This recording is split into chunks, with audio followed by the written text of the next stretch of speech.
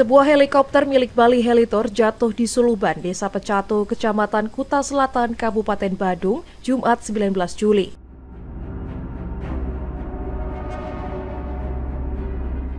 Heli tersebut mulanya lepas landas dari helipad GWK pada pukul 14.33 waktu Indonesia Tengah untuk melakukan tur wisata.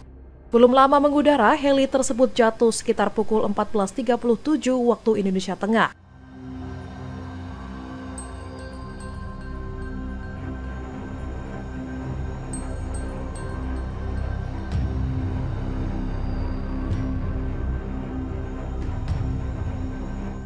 Kantor Pencarian dan Pertolongan Denpasar menerima informasi tentang jatuhnya heli pada pukul 15.25 waktu Indonesia Tengah. Diketahui heli tersebut membawa lima orang termasuk pilot dan kru.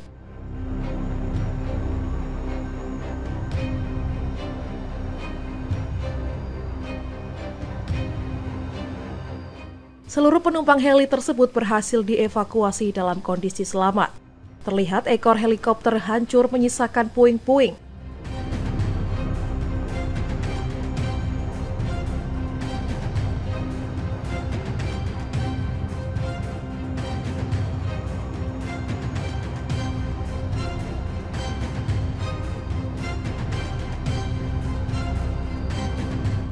Sementara badan helikopter tampak masih berbentuk dan bagian bawah helikopter terlihat berwarna putih.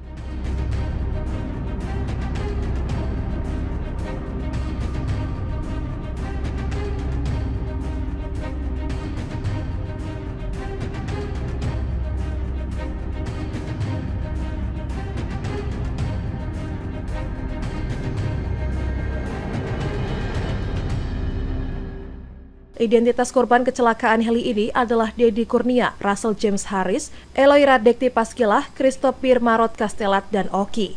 Namun tiga penumpang dibawa ke RS Siloam menggunakan ambulans.